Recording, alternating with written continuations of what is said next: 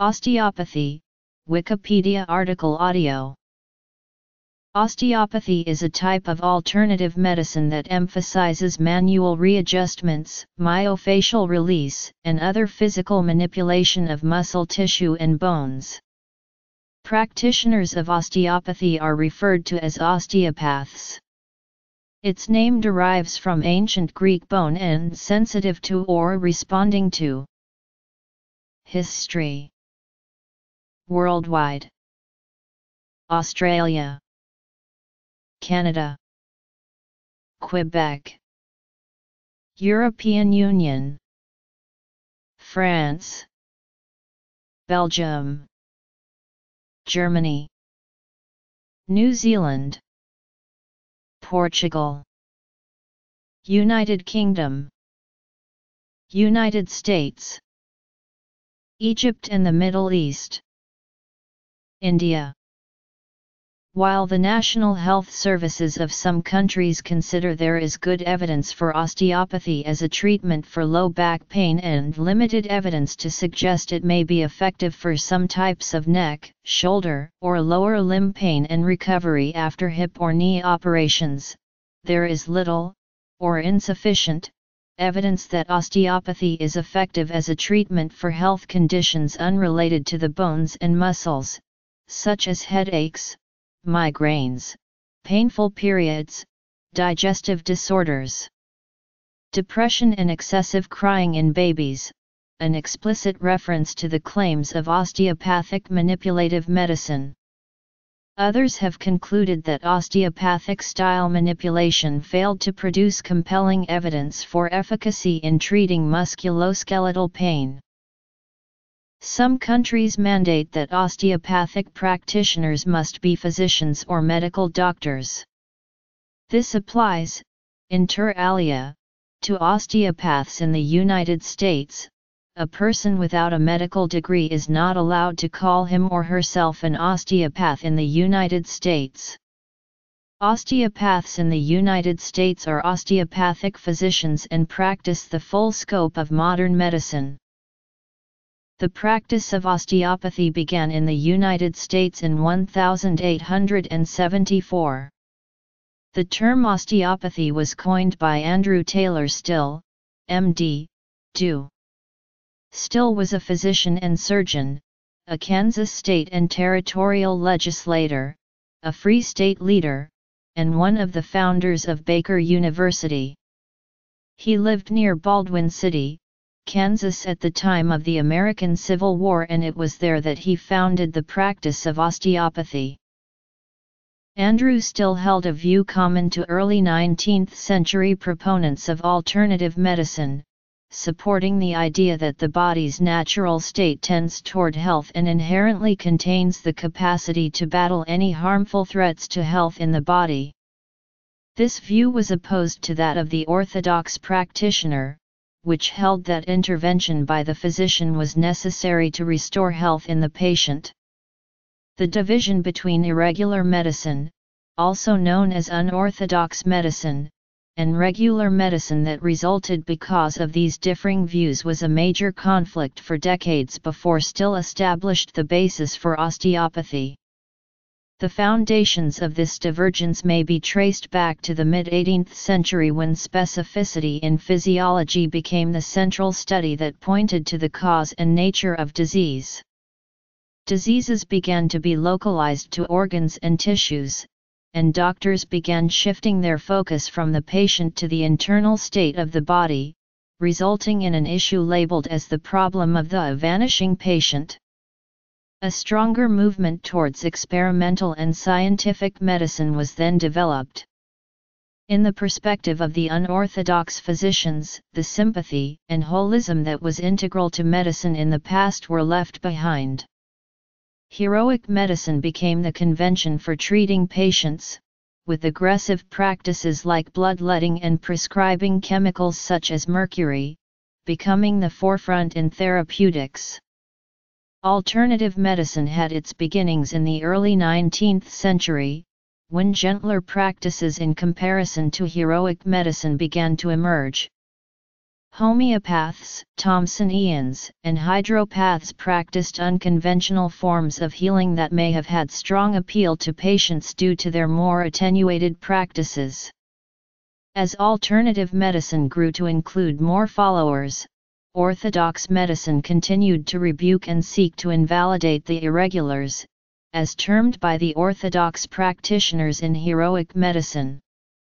As each side sought to defend its practice, a schism was presented itself in the medical marketplace, with both the irregular and regular practitioners attempting to discredit the other.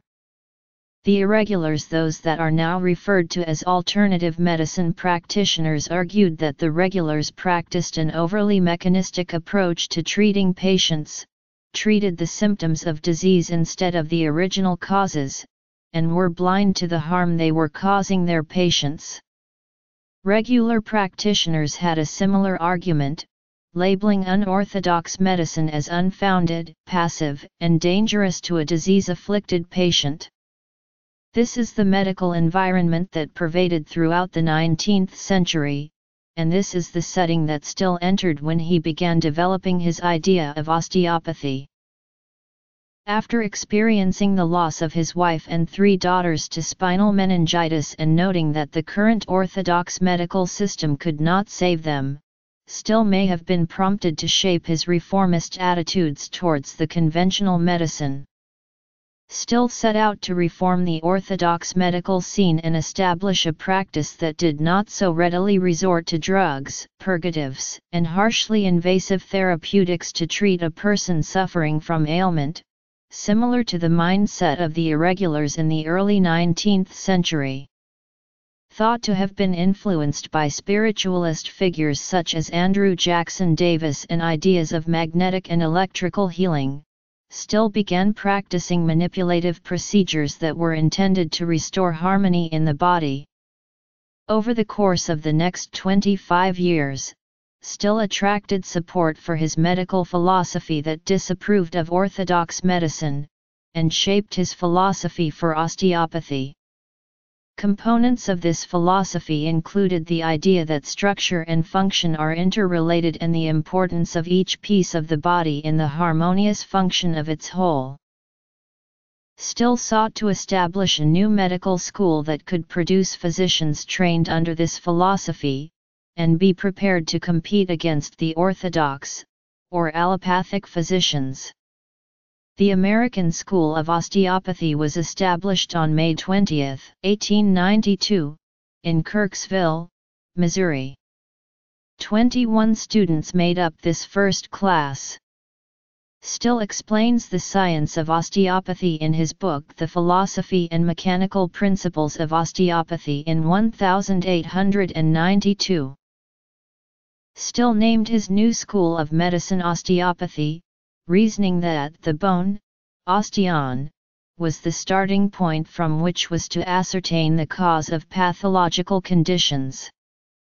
While the state of Missouri granted the right to award the MD degree, he remained dissatisfied with the limitations of conventional medicine and instead chose to retain the distinction of the DO degree.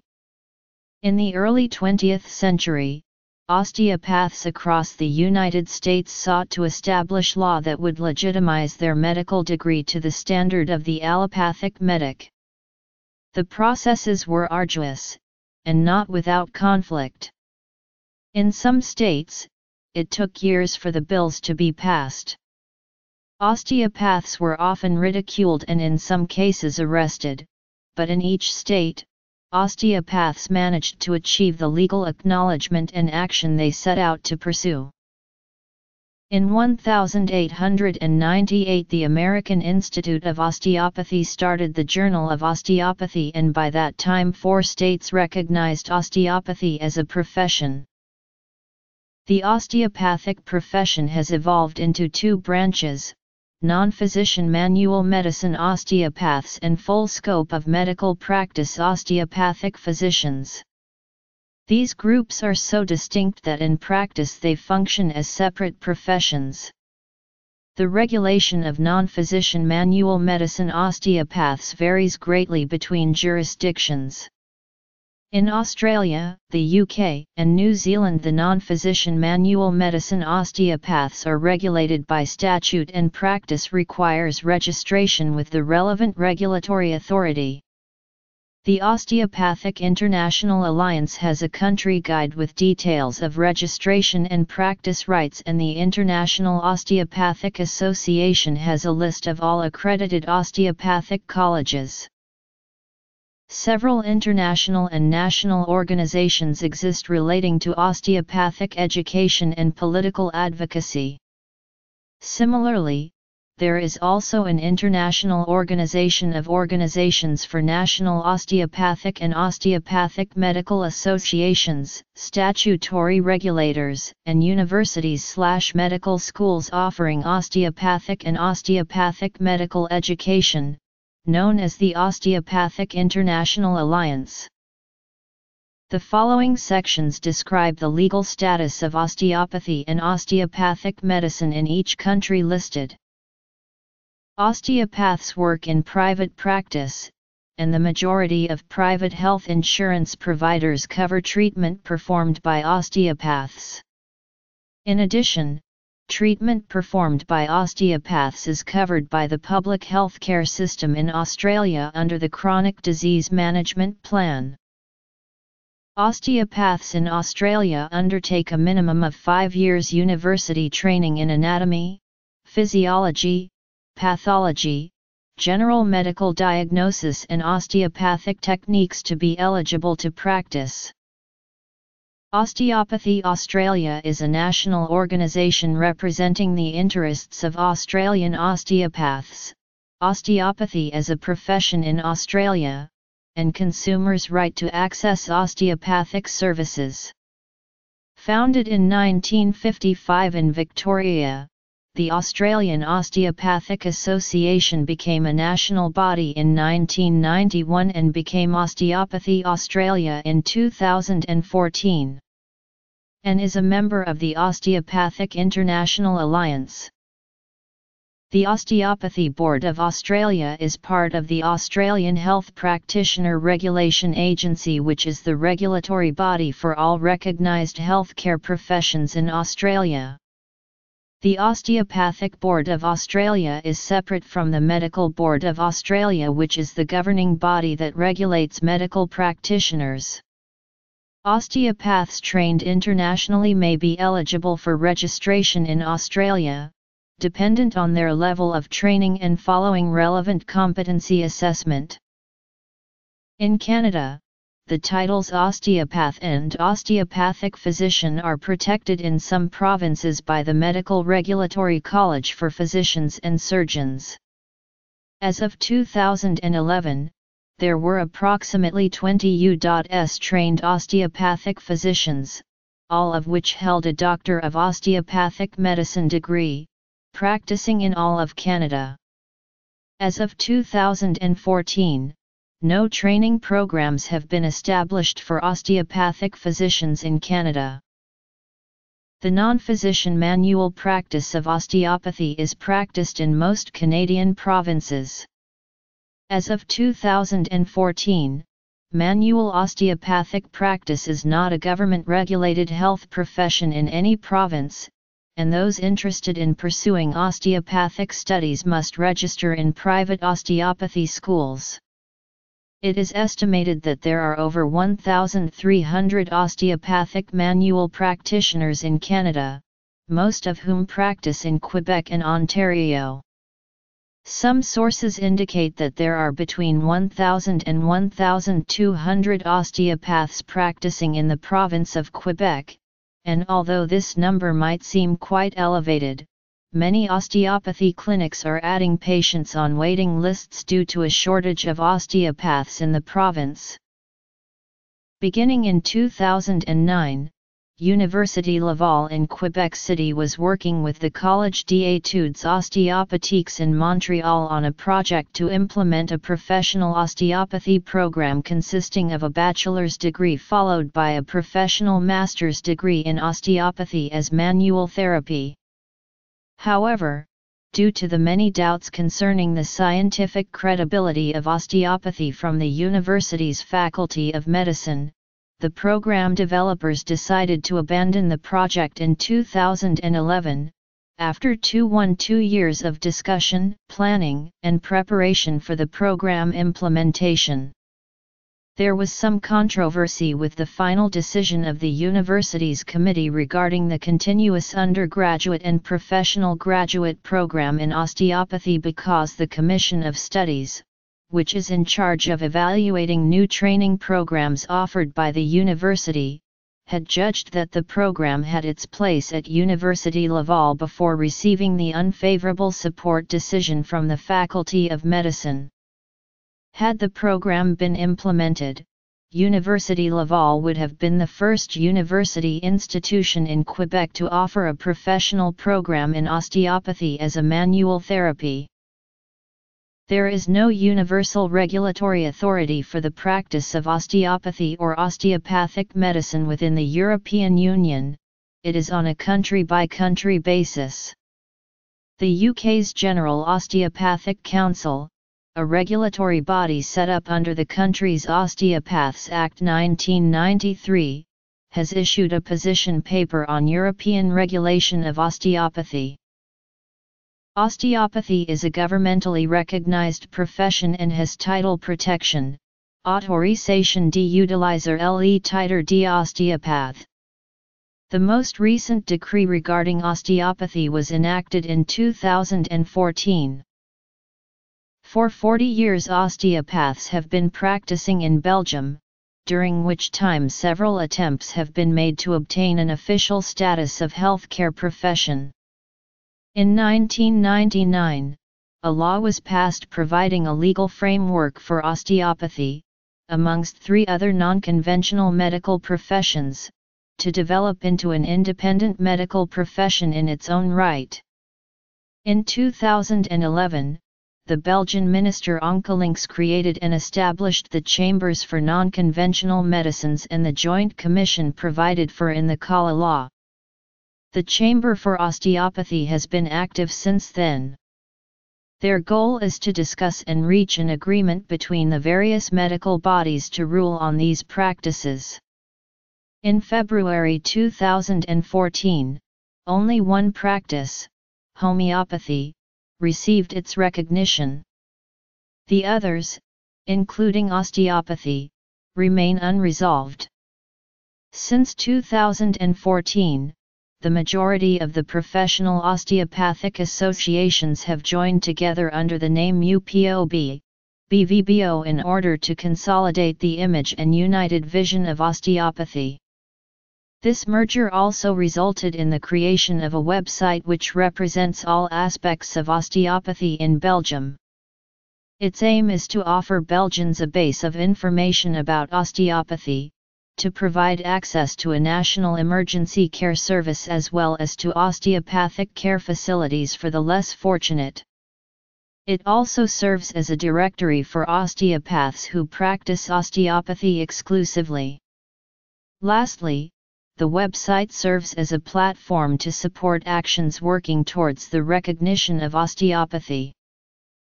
Germany has both osteopathy and osteopathic medicine. There is a difference in the osteopathic education between non-physician osteopaths, physiotherapists, and medical physicians.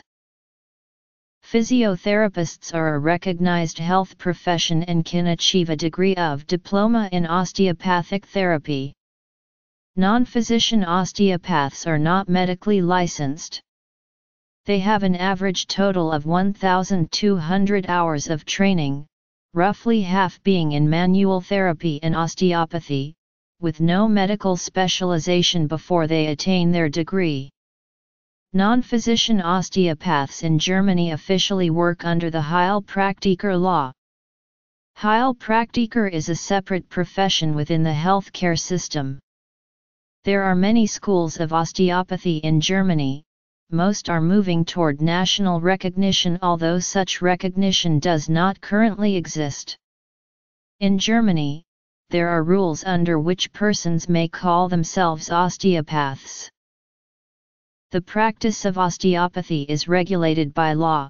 under the terms of the Health Practitioners Competence Assurance Act 2003 which came into effect on September 18, 2004. Under the Act, it is a legal requirement to be registered with the Osteopathic Council of New Zealand, and to hold an annual practicing certificate issued by them, in order to practice as an osteopath. Each of the 15 health professions regulated by the HPCA Act work within the scope of practice determined and published by its professional board or council. Osteopaths in New Zealand are not fully licensed physicians.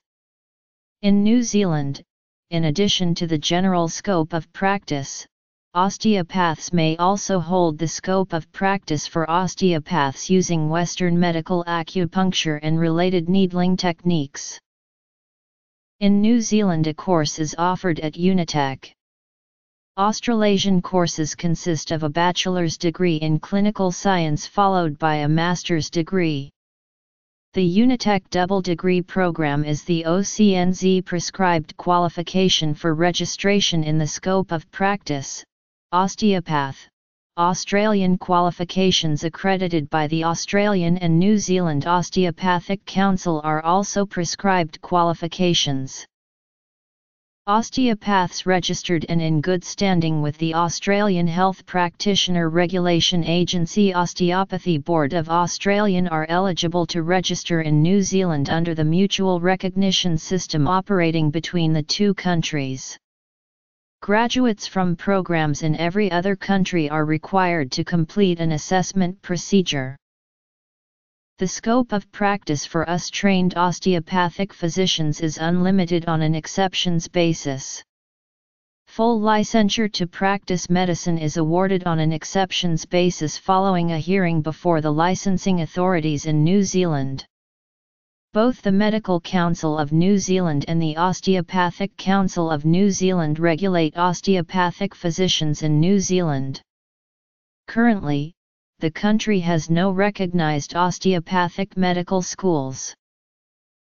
Osteopathy is a governmentally recognized health profession and the title of osteopath is protected by law. Currently there are three faculties that teach the four-year degree course of osteopathy. The practice of osteopathy has a long history in the United Kingdom.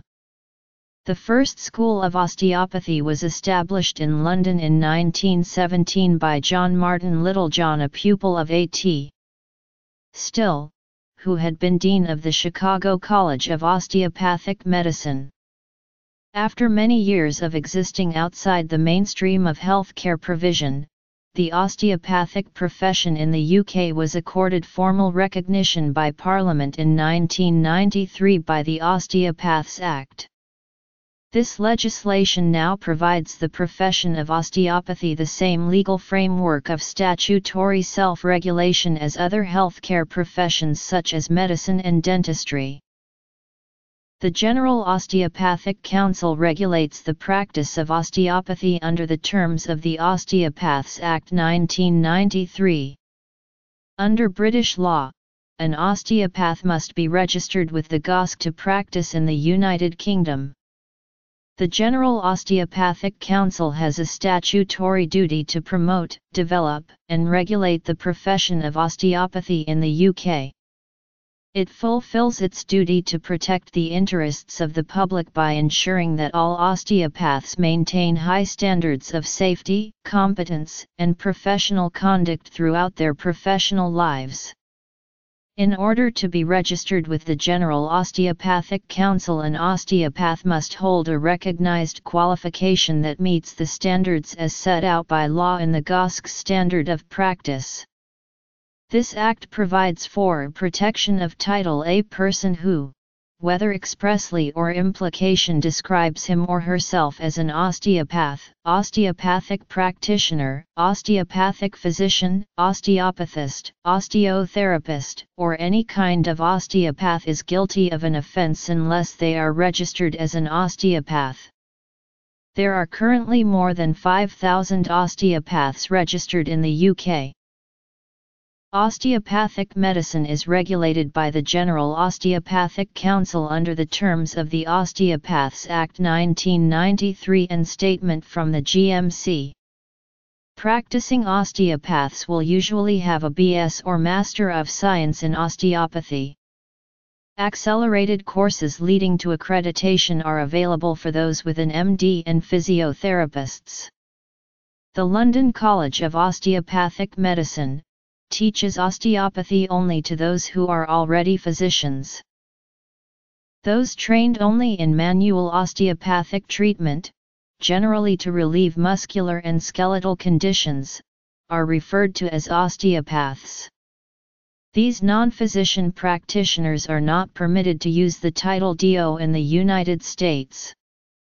This is to avoid confusion with osteopathic physicians who are medical doctors trained and certified to practice in the branch of scientific medicine called osteopathic medicine.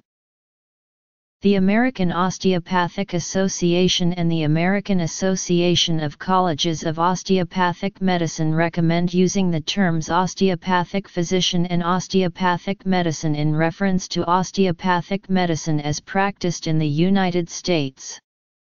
Osteopathic physicians earn the degree of Doctor of Osteopathic Medicine.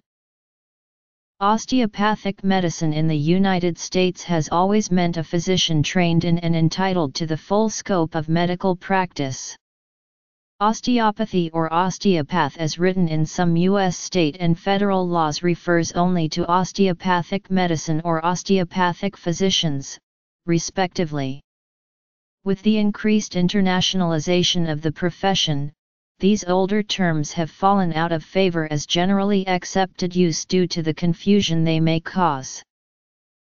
Hesham Khalil introduced osteopathy in the Middle East at a local physical therapy conference in Cairo, Egypt in 2005 with a lecture titled The Global Osteopathic Concept Slash Holistic Approach in Somatic Dysfunction. Since then he has toured the Middle East to introduce osteopathy in other Middle Eastern and North African countries, including Sudan, Jordan, Saudi Arabia, Qatar, UAE, Kuwait, and Oman.